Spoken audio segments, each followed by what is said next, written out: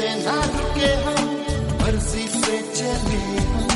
बादल हम, सावन हम।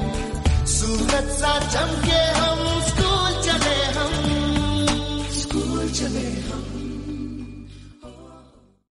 आपकी स्क्रीन पर आने वाले सब्सक्राइब बटन को प्रेस कर लें और इसके सामने आने वाले बेल आइकन को भी दबा लें जिससे कि आपको मेरी वीडियो का रेगुलर अपडेट मिलता रहे। Hello, good morning student. मैं गंभीर सर, आप सभी का study point Gambhir sir YouTube channel में एक बार पुनः स्वागत करता हूँ। और आज हम आरआरबी एएलपी टेक्नीशियन के लिए फ़िज़िक्स से रिलेटेड क्वेश्चन के बारे में डिस्कस करेंगे। और मैं आपको फ़िज़िक्स के लिए 1000 क्वेश्चन का प्रैक्टिस सेट, जिसमें मैं आपको करीब 20 से 25 वीडियो के अंदर ये प्रोवाइड कराऊँगा। और इसमें आप जो फिज़िक्स से रिलेटेड जितने भी क्वेश्चन बनते हैं, उनको आसानी से पढ़ सकते हो। तो हम क्वेश्चन नंबर फ़र्स्ट पर आते हैं। कार्य का मात्रक क्या है? तो कार्य का जो मात्रक होता है, वो क्या होता है? जूल। आपका इसका आंसर क्या हो जाएगा? फ़र्स्ट क्वेश्चन का जूल। अगला क्वेश्चन है, प्रकाश वर्ष किसकी इकाई है? तो प्रकाश वर्ष जो होता है, वो हमेशा दूरी की इकाई होती है। प्रकाश वर्ष पूछे या नूरी वर्ष पूछे, वो हमेशा किसकी इकाई होती है? दूरी की। अगले क्वेश्चन पर आते हैं, एम्पियर मात्रक है। एम्पियर किसका मात्रक है? तो एम्पियर जो मात्रक होता है, वो विद्युत धारा का मात्रक होता है। क्लियर सब? अगले क्वेश्चन पर चलते हैं। फोर्थ क्वेश्चन है, निम्नलिखित में से समय का मात्रक नहीं है, यानी कि समय का मात्रक क्या नहीं है, वो हमें बताना है। अधिवर्ष चंद्रमा प्रकाश वर्ष तो आपको एक चीज़ ध्यान होनी चाहिए कि जो प्रकाश वर्ष होता है, वो हमेशा दूरी का मात्रक होता है। वो कभी भी समय का मात्रक नहीं होता। तो इसका जो समय का मात्रक नहीं है, वो इसका आंसर क्या होगा? प्रकाश वर्ष जो है, वो समय का मात्रक नहीं होता, जबकि अधिवर्ष और चंद्रमा ये क्या होते हैं? समय के मात्रक होते हैं। अगले क्वेश्चन पर चलते हैं। पारसेक इकाई है। पारसेक जो इकाई होती है, वो हमेशा दूरी को मापने के लिए काम में ली जाती है। पारसेक पूछे, चाहे प्रकाश वर्ष पूछे, चाहे नूरी वर्ष पूछे, ये हमेशा किसकी इकाई होती है? दूरी की। अगला क्वेश्चन है। निम्नलिखित में से कौन सा एक सुमेलित नहीं है? यानी कि इनमें से जो मैच नहीं कर रहा है, वो हमें बताना है। डेसिबल, ध्वनि की प्रबलता की इकाई होती है, सही है।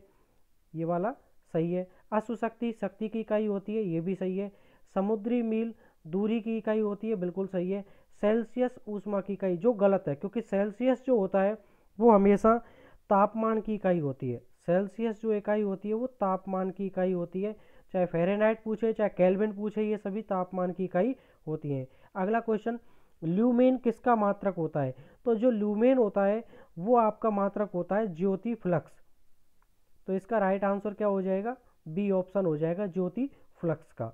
अगला क्वेश्चन है, पास्कल किसकी इकाई होती है? तो पास्कल जो होता है, वो इकाई होती है दाब को मापने के लिए। क्लियर सभी को? तो पास्कल जो इकाई होगी, वो क्या होगी? दाब को मापने के लिए। क्वेश्चन नंबर नाइन पर आते हैं। कैंडला मात्रक है। कैंडला जो किस, जो मात्रक होता है, वो किस राशि का मात्रक होता है? तो इसका आंसर, आपका आंसर हो जाएगा ज्योति तीव्रता का। तो ऑप्शन नंबर डी इसका सही होगा। देखो, पिछले वाले क्वेश्चन में जो पूछा था, वो ल्यूमिनस फ्लक्स के बारे में पूछा था और इसमें क्या पूछा है? कैंडला। तो कैंडला किसकी इकाई है? ज्योति तीव्रता की इकाई होती है। अगला क्वेश्चन है, यंग प्रत्यास्थता गुणांक का ऐसा ही मात्रक क्या होता है? तो यंग प्रत्यास्थता गुणांक जो है, वो बल बटे क्षेत्रफल होता है और बल की इकाई होती है न्यूटन और क्षेत्रफल की होती है मीटर स्क्वायर। तो इसका आंसर क्या हो जाएगा? Option number C right answer हो जाएगा। अगला क्वेश्चन है, निम्नलिखित युग्मों में से किन भौतिक राशियों के समान विमीय सूत्र नहीं है? यानी कि कौन कौन सी भौतिक राशि हैं जिनके विमीय सूत्र जो है, वो एक समान नहीं होते? तो आपको यहाँ देखना है, फ़र्स्ट ऑप्शन में दे रखा है, बल एवं दाब। तो बल बराबर तो होता है द्रव्यमान गुणा त्वरण। जब बल का सूत्र पढ़ते हैं तो क्या होता है? द्रव्यमान जिसे एम से प्रदर्शित करेंगे और त्वरण जिसे जी से।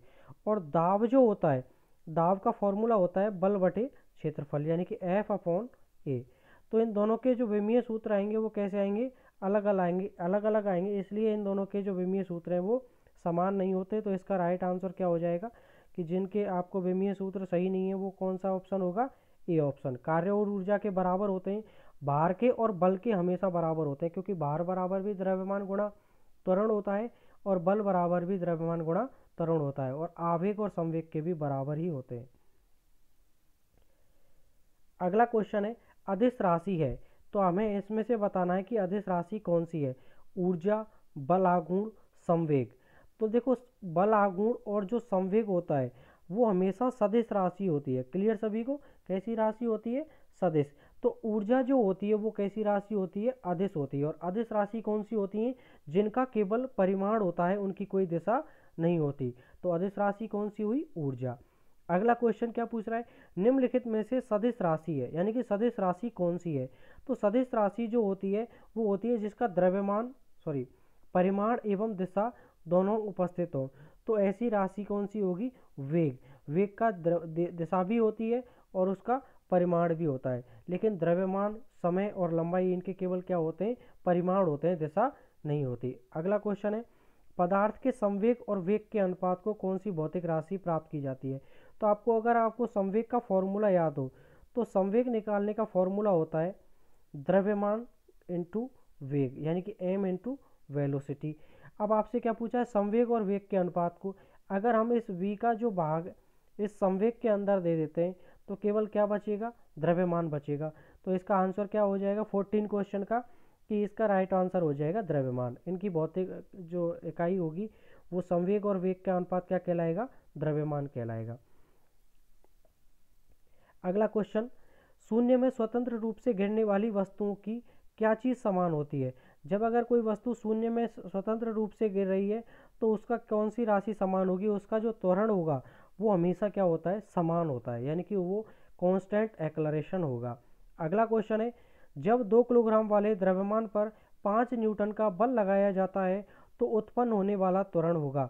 देखो, बल का जो फॉर्मूला होता है, अभी हमने डिस्कस किया था कि बल बराबर होता है द्रव्यमान गुणा त्वरण, यानी कि एम इंटू ए होता है। और इसमें क्या पूछा है? त्वरण। तो ए बराबर क्या हो जाएगा? एफ़ अपॉन एम और एफ़ हमारे पास कितना दे रखा है? बल। पाँच न्यूटन। और ए, जो आपका द्रव्यमान है वो दे रखा है दो। तो पाँच में जब दो का भाग देंगे तो कितना आ जाएगा? दो पॉइंट पाँच। लेकिन त्वरण की इकाई क्या होती है? देखो यहाँ पर दो पॉइंट पाँच बी ऑप्शन में भी है और दो पॉइंट पाँच ए में भी है। तो त्वरण की इकाई होती है मीटर प्रति सेकंड स्क्वायर। तो इसका जो राइट आंसर होगा वो ए ऑप्शन होगा। दो पॉइंट पाँच मीटर प्रति सेकंड स्क्वायर।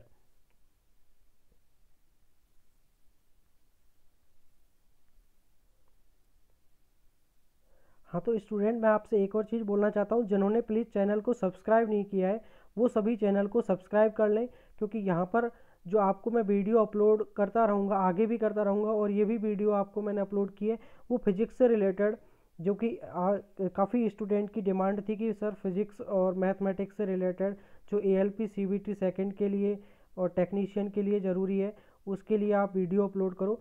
तो प्लीज़ आपके लिए मैं इतनी जो वर्कआउट कर रहा हूँ तो आप भी मेरे लिए थोड़ा सा चैनल को प्लीज़ सब्सक्राइब करें और ज़्यादा से ज़्यादा वीडियो को शेयर किया करो। तो आगे हम नेक्स्ट क्वेश्चन पर चलते हैं। किसी भी स्थिर या गतिशील वस्तु की स्थिति और दिशा में जब तक कोई परिवर्तन नहीं होता, तब तक उस पर कोई बाह्य बल नहीं लगाया जाए। तो ये हमने स्टेटमेंट पढ़ा था कि न्यूटन के गति का जो प्रथम नियम था, उसमें बताया था कि जिसे हम जड़त्व का आगुण भी कहते हैं। यदि किसी वस्तु को अगर कोई बाह्य बल नहीं लगाएँ तो वो स्थिर अवस्था में है तो स्थिर में ही रहेगी। और गतिशील अवस्था में है तो गतिशील अवस्था में ही रहेगी। तो ये किस नियम से संबंधित है? न्यूटन के गति के प्रथम नियम से। तो इसका राइट आंसर हो जाएगा ऑप्शन नंबर ए अगला है रॉकेट खाली किसके सिद्धांत पर कार्य करता है? तो रॉकेट हमेशा संवेग संरक्षण के सिद्धांत पर कार्य करता है। ये बहुत ही मोस्ट क्वेश्चन है। काफ़ी टाइम पूछा जा चुका है। और मैंने आपके लिए ये सभी क्वेश्चन उसी तरह से सेट किए हैं, जो कि मैन आपके एग्ज़ाम में पूछे जा सकते हैं या पहले पूछे जा चुके हैं। अगला क्वेश्चन है, अश्व यदि एकाएक चलना प्रारंभ कर दे तो एक अश्वराही के गिरने की आशंका का कारण है।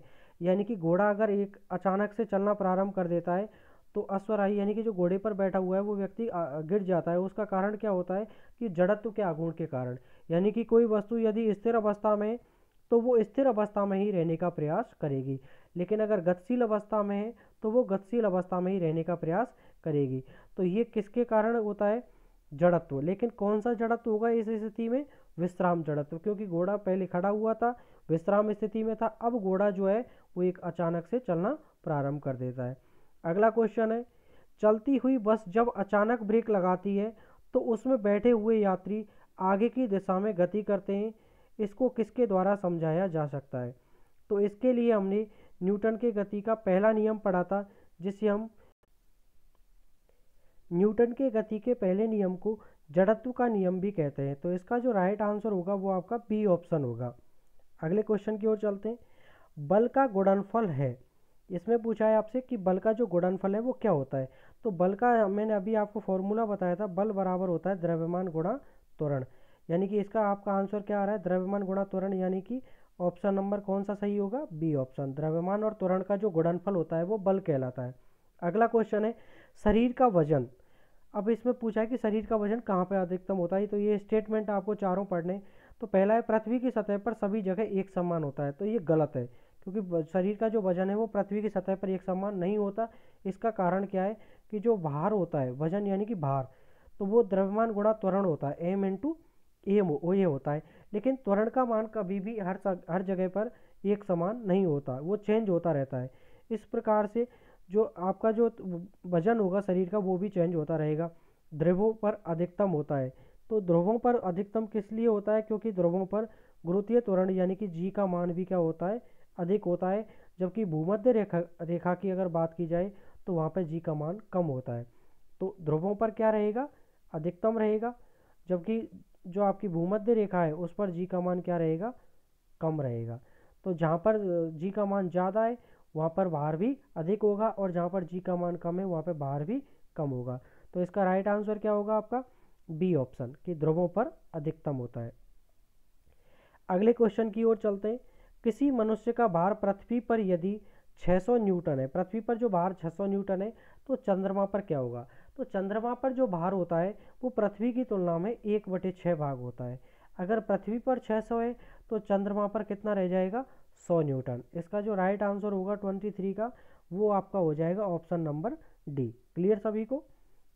अगला क्वेश्चन है, पृथ्वी पर की सतह पर किसी का भार 29.4 न्यूटन है। आपको बाहर का फॉर्मूला पता है डब्लू बराबर एम इंटू जी होता है। तो यहाँ पे आप एम इंटू ए भी लिख सकते हो, कोई बड़ी बात नहीं है। जो आपका बाहर है वो कितना दे रखा है? उनतीस पॉइंट चार। आपके जी का मान क्या होगा? नौ पॉइंट आठ। एम का मान आपको पता नहीं तो मल्टीप्लाई कर दो। तो इसमें क्या करोगे? उनतीस पॉइंट चार में किसका भाग दे देंगे? नौ पॉइंट आठ का। जब आप भाग दोगे तो ये कितनी बार कट जाएगा? तीन बार। इसका मतलब उस वस्तु का जो भार आएगा वो कितने किलोग्राम आ गया? तीन किलोग्राम। इस क्वेश्चन का राइट आंसर क्या हो जाएगा? तीन किलोग्राम उस वस्तु का भार होगा। अगले क्वेश्चन पर चलते हैं। एक अंतरिक्ष यात्री पृथ्वी की तुलना में चंद्र तल पर अधिक ऊँची छलांग लगा सकता है। क्या कारण है कि पृथ्वी की तुलना में वो चंद्रमा पर ज़्यादा ऊँची छलांग लगा सकता है? देखो, चंद्रमा पर गुरुत्वीय त्वरण का मान जो होता है, वो पृथ्वी की तुलना में एक बटे छः होता है और वहाँ पर वज़न भी क्या रहता है? कम रहता है। तो वहाँ पर जो आपका आंसर हो जाएगा इस क्वेश्चन का कि वो अधिक ऊँची छलांग क्यों लगा सकता है? क्योंकि चंद्रमा पर गुरुत्वाकर्षण बल का जो मान है, वो पृथ्वी की तुलना में अत्यल्प होता है, यानी कि बहुत कम होता है। अगले क्वेश्चन पर चलते हैं।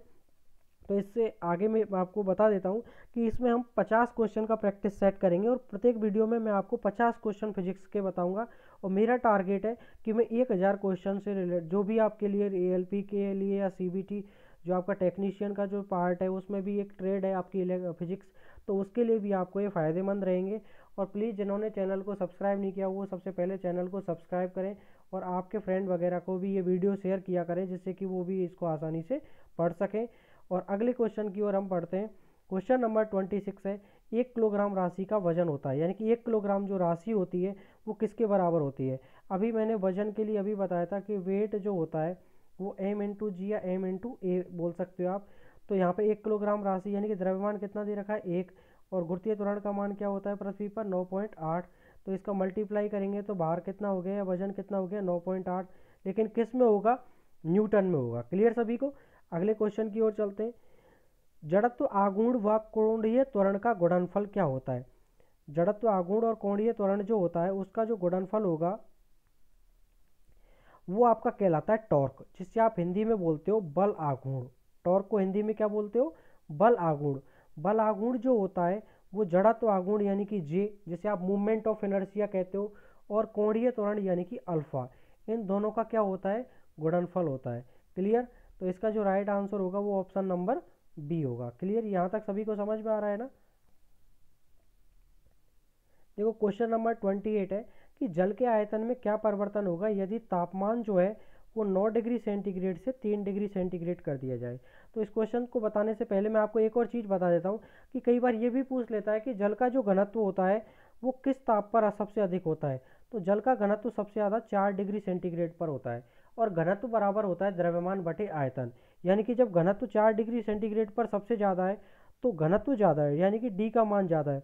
तो आयतन इस पर क्या होगा? सबसे कम होगा। क्लियर सबको? अब इसमें क्या पूछ रहा है कि हम 9 डिग्री सेंटीग्रेड से तापमान को कितना कर देते हैं? 9 से तीन कर देते हैं। यानी कि टेम्परेचर हमने क्या किया है? घटाया है। तो इसमें आपसे पूछा है कि आयतन में क्या परिवर्तन होगा? तो आयतन पहले तो क्या होगा?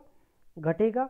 और बाद में क्या होने लग जाएगा? बढ़ने लग जाएगा, क्योंकि जब हम बात कर रहे हैं कि नौ से अगर हम धीरे धीरे कम होते हुए आ रहे हैं तो एक स्थिति आएगी कि चार है और यहाँ तक, यहाँ पे जब चार की बात की जाती है तो इस पर घनत्व तो सबसे ज़्यादा होता है और घनत्व तो ज़्यादा होगा, इसका मतलब आयतन जो होगा वो सबसे कम होगा। और फिर हम चार से और ज़ीरो की तरफ़ जाएँगे तो जो घनत्व है वो क्या होने लग जाता है? घटने लग जाएगा और घनत्व जब घटेगा, इसका मतलब आयतन बढ़ने लग जाएगा। तो इसका आंसर क्या होगा कि आयतन पहले घटेगा और बाद में बढ़ेगा। अगला क्वेश्चन है, एक बीकर में पानी पर बर्फ़ तैर रही है। जब बर्फ़ पूर्णतः पिघल जाएगी तो बीकर में पानी का तल क्या होगा? देखो, अगर हमें कह रहा है कि पानी पर बर्फ़ तैर रही है और बर्फ़ जब पूर्णतः पिघल जाएगी तो बीकर में पानी का तल क्या होगा? तो बीकर के में जो पानी होगा, उसके तल पर कोई प्रभाव नहीं रहेगा, यानी कि वो उतना का उतना ही रहेगा। तो इसका राइट आंसर होगा, उतना ही रहेगा। अगला क्वेश्चन है, जब किसी बोतल में पानी भरा जाता है और उसे जमनिया, जमने दिया जाता है तो बोतल टूट जाती है। इसका कारण क्या है? देखो, इसमें यह भी पूछ लेता है कई बार कि अगर बर्फ़ को अगर जमा दिया जाए, यानी कि पानी को अगर हम क्या करें, ठंडा करें तो बर्फ़ बन जाएगी और बर्फ़ बनेगी तो उसके आयतन पर क्या प्रभाव पड़ेगा? तो बर्फ़ जो होती है वो ज़्यादा जगह घेरती है। इसका मतलब उसका आयतन जो होगा वो हमेशा ज़्यादा होता है। बर्फ़ का आयतन क्या रहता है? अधिक रहता है। बर्फ़ का आयतन अधिक है तो इसका मतलब उसका घनत्व क्या होगा? कम होगा यानी कि जो चीज़ ज़्यादा जगह घेरती है, उसका घनत्व क्या हो जाएगा? कम। लेकिन अगर पानी का पूछता कि पानी का आयतन क्या रहता है तो पानी का आयतन बर्फ़ की तुलना में क्या रहेगा? जब इस, यहाँ पे देखो अभी बर्फ़ का आयतन जो था, वो कम था, क्योंकि उसका घनत्व क्या था? ज़्यादा। सॉरी सॉरी, मैंने ये गलत बोल दिया। बर्फ़ का जो आयतन होता है, वो ज़्यादा होता है और उसका घनत्व जो रहेगा, वो क्या रहेगा? कम रहेगा, क्योंकि बर्फ़ जो है, वो ज़्यादा जगह घेरती है।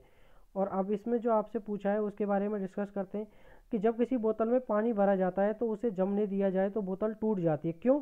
क्योंकि बोतल जो होगी, उसके बाहर का तापमान अंदर से ज़्यादा होता है, बोतल हेमांग पर सुड़कुटती है, पानी जमने पर फैलता है, पानी गर्म करने पर फैलता है।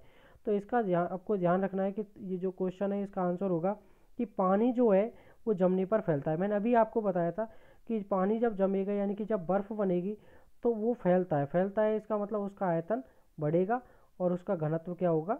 कम होगा। और पानी जो है, उसका आयतन क्या रहता है? कम रहता है और उसका घनत्व क्या रहेगा? ज़्यादा रहेगा। देखो क्वेश्चन है, सड़क पर चलने की अपेक्षा बर्फ़ पर चलना कठिन क्यों है? मतलब सड़क की तुलना में अगर हम बर्फ़ पर चलते हैं तो हम फिसल जाते हैं। कारण क्या होता है? क्योंकि बर्फ़ में सड़क की जो अपेक्षा घर्षण जो होता है, वो कम होता है। यानी कि सड़क में जो घर्षण बल होता है, उसी की वजह से तो हम अगर कोई ब्रेक वगैरह लगाते हैं, गाड़ी रुक जाती है, हम चलते हैं तो आसानी से चल लेते हैं। क्योंकि बर्फ़ में जो अगर हम बात करते हैं तो वहाँ पे घर्षण बल का मान क्या होता है? फ्रिक्शन जो होता है, वहाँ पे क्या होता है? शून्य होता है। लेकिन अगर हम बात करें कि जो आपकी सड़क होती है, उसमें घर्षण बल क्या होता है? तो वहाँ पे अधिक होता है। इसलिए जो बर्फ़ पर चलना आसान नहीं होता। अगला क्वेश्चन है, एक नदी में चलता हुआ जहाज़ समुद्र में आता है, तब क्या होगा? यानी कि यदि कोई जहाज़ नदी में चल रहा है और अचानक से उसे समुद्र में आना पड़ जाए तो उसका स्तर क्या हो जाएगा? तो उसका स्तर थोड़ा सा ऊपर हो जाएगा, क्योंकि समुद्र का पानी कैसा होता है? खारा होता है, जबकि नदी का पानी कैसा होता है? मीठा। और खारे पानी का जो घनत्व होगा, वो क्या होगा? अभी आपको अभी मैं बता रहा हूँ, अगर हम पानी में नमक मिला देते हैं तो पानी में जैसे ही नमक मिलाया जाएगा तो उसके घनत्व पर क्या प्रभाव पड़ेगा? जैसे खारे पानी का जो घनत्व होता है, वो क्या हो जाएगा? अधिक हो जाएगा। अगला क्वेश्चन है, लोहे की कील पारे में क्यों तैरती है? जबकि यह पानी में डूब जाती है। लोहे की जो कील होती है, वो पानी में सॉरी पारे में तो तैरती है, जबकि पानी में डूब जाती है। तो इस क्वेश्चन में जब हम देख रहे हैं कि कोई भी वस्तु जो तैरती है, वो अगर किसी भी चीज़ पर तैर तैर रही है तो उसके लिए उसका घनत्व क्या होना चाहिए? तो यहीं से इसका क्वेश्चन बन जाता है कि लोहे की कील पानी में तैरती है, जबकि वह सॉरी पारे में तैरती है, जबकि पानी में डूब जाती है। तो पानी में जब डूबती है, इसका मतलब वो खुद भारी है और उसका घनत्व जो होगा, उससे कैसा होगा? देखो, कोई भी चीज़ भारी होती है, इसका मतलब घनत्व उससे परिवर्तित नहीं होता। घनत्व का मान हमेशा उस वस्तु का समान रहता है, अगर हम एक ही वस्तु की बात कर रहे हैं। तो यहाँ पर आपका आंसर क्या हो जाएगा कि जो लोहे का घनत्व है, वो पानी से तो क्या होता है? अधिक होता है। लोहे का जो घनत्व है, वो पानी से अधिक होता है तथा पारे से क्या होता है? कम होता है। इसीलिए लोहे की कील जो है, वो पारे पे तो तैरती है, जबकि पानी में डूब जाती है। अगला क्वेश्चन है, पानी का घनत्व अधिकतम होता है, यानी कि पानी का जो घनत्व है, वो सबसे ज़्यादा किस टेम्परेचर पर होता है? अभी मैंने लास्ट दो तीन चार क्वेश्चन पहले बताया था कि पानी का घनत्व हमेशा चार डिग्री सेंटीग्रेड पर सबसे अधिक होता है। क्लियर सभी को?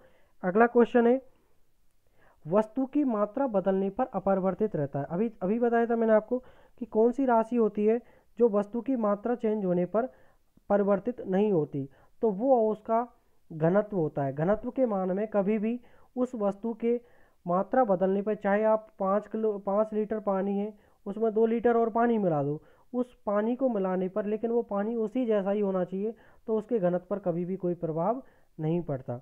अगला क्वेश्चन आपका है कि समुद्र में प्लवन करते समय आइस वर्ग का, यानी कि बर्फ़ के टुकड़े का कितना भाग समुद्र की सतह से ऊपर रहता है?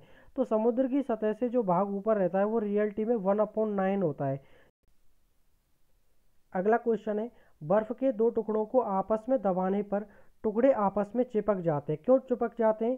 क्योंकि देखो, जब हम बर्फ़ के टुकड़ों की बात कर रहे हैं और अगर उन्हें एक दूसरे के साथ में टच किया जाए तो वो दोनों क्यों चिपक जाते हैं? क्योंकि उनका जो दाब होता है, वो अधिक होता है और दाब अधिक होने पर बर्फ़ का जो गलनांक होगा, वो क्या हो जाएगा? घट जाएगा। तो इसका राइट आंसर हो जाएगा ऑप्शन नंबर ए अगला क्वेश्चन है, हवाई जहाज़ से यात्रा करते समय पेन से स्याही निकलने लगती है। देखो जैसे जैसे हम ऊपर की तरफ़ जाते हैं तो वायुमंडलीय दाब का मान जो है, ऊपर जाने पर क्या होता है? दाब का मान घटता है। और दाब घटेगा और उसके अंदर जो स्याही भरी हुई है पेन के अंदर, वहाँ पे दाब क्या रहेगा? अधिक रहेगा। और कोई भी चीज़ अधिक से कहाँ की ओर चलती है? निम्न की ओर, उच्च से निम्न की ओर चलती है। इसी वजह से उस पेन में से जो स्याही होगी, वो बाहर की ओर निकल आती है। क्यों? क्योंकि वायु दाब में क्या हो जाती है? कमी हो जाती है। तो इस क्वेश्चन का जो आपका राइट आंसर होगा वो ऑप्शन नंबर क्या होगा? ए ऑप्शन इसका राइट आंसर है। क्लियर सभी को? और मैं जहाँ तक जो आपको लग रहा है कि काफ़ी अच्छे क्वेश्चन आपके लिए प्रोवाइड करा रहा हूँ और हो सकता है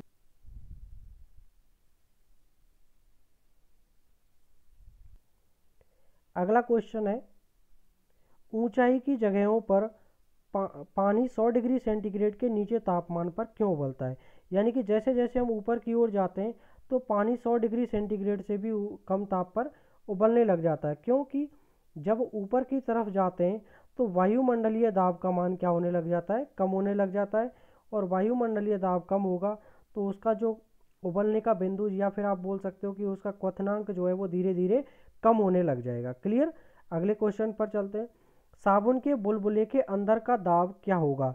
तो साबुन के बुलबुले का जो अंदर का दाब होता है वो वायुमंडलीय दाब से भी अधिक होता है, यानी कि ये कोई साबुन का बुलबुला है और इसके अंदर जो दाब होगा, उसका मान बाहर के दाब से भी क्या रहता है? अधिक रहता है। क्लियर अगला क्वेश्चन है, वायु दाब मापी की रीडिंग में अचानक गिरावट इस बात का संकेत है कि मौसम, यानी कि वायुमंडलीय दाब मापी के लिए आप बैरोमीटर काम में लेते हो। ये भी क्वेश्चन बन जाता है कि वायुमंडलीय दाब को किसके द्वारा मापा जाता है? तो इसका आंसर हो जाता है बैरोमीटर। यदि इसकी रीडिंग अचानक से गिर जाए तो अचानक से अगर इसकी रीडिंग गिरेगी तो इसका जो संकेत होगा वो किसका होगा? तूफ़ान आने का। क्लियर सभी को? तो इसका आंसर क्या हो जाएगा आपका? Option number D. अगला क्वेश्चन है, प्रेशर कुकर में खाना जल्दी पकता है क्योंकि प्रेशर कुकर में जो खाना है वो जल्दी किस लिए पक जाता है? क्योंकि जब प्रेशर कुकर में हम पानी वगैरह या कोई सब्ज़ी वगैरह बनाते हैं तो पानी को या गर्म किया जाए या सब्ज़ी को रखा जाए तो वहाँ पर अधिक दाब होने के कारण पानी अधिक तापक्रम पर क्या करने लग जाता है? उबलने लग जाता है। और कई बार ऐसे भी आ जाता है कि उसका जो क्वथनांक है वो क्या हो जाता है? घट जाता है। यानी कि जो दाब अगर बढ़े, वहाँ पे दाब जो है वो बढ़ता है तो क्वथनांक क्या हो जाता है? घट जाता है। लेकिन हम जब उल्टा पढ़ते हैं वहाँ पे, जब आप वायुमंडल की बात करते हो तो ऊपर जब दाब, ऊपर की तरफ़ जाते हैं तो दाब का मान घटता है और क्वथनांक भी उसका घटता है। लेकिन बंद बर्तन में इसका जस्ट अपोजिट चलता है ध्यान रखना। अगला क्वेश्चन है, हाइड्रोजन से भरे, हाइड्रोजन से भरे रबड़ के गुब्बारे वायु में ऊपर जाके फट जाते हैं। क्यों फट जाते हैं? क्योंकि देखो, ये सपोज़ गुब्बारा है, और अगर हम ऊपर की तरफ़ जा रहे हैं तो वायुमंडलीय दाब, प्रेशर का मान ऊपर की तरफ़ जाने पर क्या हो जाता है? घट जाता है, और इसके अंदर जो वायु भरी हुई है, वो उच्च दाब की भरी हुई है। तो दाब कैसे जाएगा? उच्च से निम्न की ओर। यानी कि जो अंदर का जो दाब होगा, वो बाहर की ओर निकल जाएगा। क्लियर सभी को? इस प्रकार से जो गुब्बारा है, वो क्या हो जाता है? फट जाता है। क्लियर तो इसका जो आपका राइट आंसर है, वो क्या है?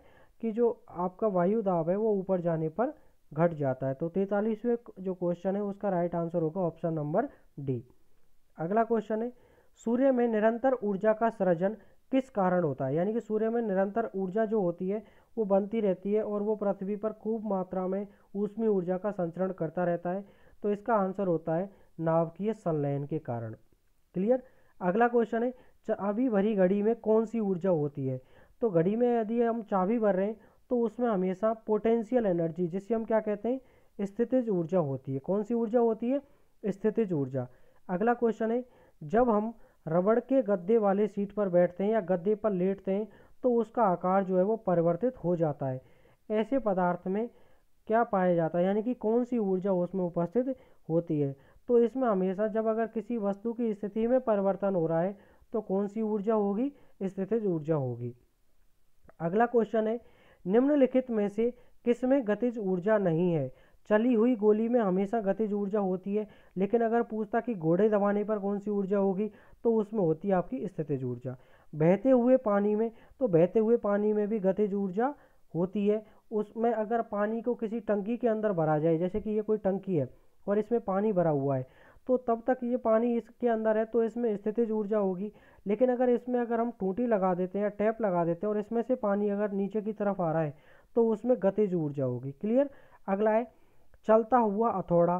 तो हथौड़े में भी गतिज ऊर्जा होती है। यानी कि अगर आप हथौड़े को चलाने के लिए जब उसे ऊपर की ओर उठाओगे तो उसमें स्थितिज ऊर्जा होगी लेकिन जब वापस उसे किसी कील पर या किसी भी वस्तु पर डालोगे तो उसमें गतिज ऊर्जा होगी अगला है, खींचा हुआ धनुष। तो धनुष में अगर हम कहें कि जो धनुष होता है, अगर उसमें आप पीछे की तरफ़ तीर को खींच जा रहे हो, आप उसकी स्थिति को चेंज कर रहे हो तो उसमें स्थितिज ऊर्जा होती है। लेकिन यदि उसमें से तीर को छोड़ा जा रहा है तो उसमें गतिज ऊर्जा होती है। आपको ध्यान रखना है, मैंने इसमें एक ही क्वेश्चन के अंदर आपको पाँच से छः क्वेश्चन के बारे में बता दिया है। अगले क्वेश्चन की ओर चलते हैं। जब एक वस्तु की गति दुगनी हो जाती है तो उसकी गतिज ऊर्जा क्या होगी? तो गतिज ऊर्जा निकालने का सूत्र होता है ई के बराबर एक बटे दो एम वी स्क्वायर गतिज ऊर्जा का सूत्र क्या होता है? एक बटे दो एम वी स्क्वायर लेकिन यहाँ पे हमें क्या कहा है कि वस्तु की गति दुगनी कर दी जाए, यानी कि वेग को दुगना कर दिया जाएगा तो गतिज ऊर्जा कितनी गुनी हो जाएगी? चार, क्योंकि दो का वर्ग क्या होता है? चार। तो इस क्वेश्चन का राइट आंसर क्या हो जाएगा? चौगुनी हो जाती है। अगला क्वेश्चन है, निम्नलिखित में से कौन सा नियम इस कथन को वैध करता है कि द्रव का ना तो सृजन किया जा सकता है और ना ही विनाश? तो ऐसा कौन सा नियम है जो इसके बारे में बताता है? तो वो होता है ऊर्जा संरक्षण का नियम। ना ऊर्जा को सृजित किया जा सकता है और ना ही उसे नष्ट किया जा सकता है। क्लियर सभी को? अगला क्वेश्चन है, साइकिल चलाने वाला मोड़ लेते समय क्यों झुकता है? जैसे कोई व्यक्ति साइकिल चला रहा है और वो मोड़ लेता है, हमेशा वो केंद्र की ओर झुकता है। क्यों झुकता है केंद्र की ओर? देखो, इसमें आपको ऑप्शन दे रखें। साइकिल और आदमी की गति समान होनी चाहिए, वरना साइकिल फिसल जाएगी, गलत है। कोई ज़रूरी नहीं है।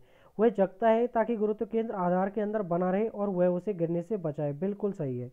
वह झुकता है ताकि वक्र मार्ग पर चलने के लिए पहियों पर दबाव डाला जा सके, बिल्कुल गलत है। वह झुकता है ताकि वक्र को और तेज़ी से पार कर सके, गलत है।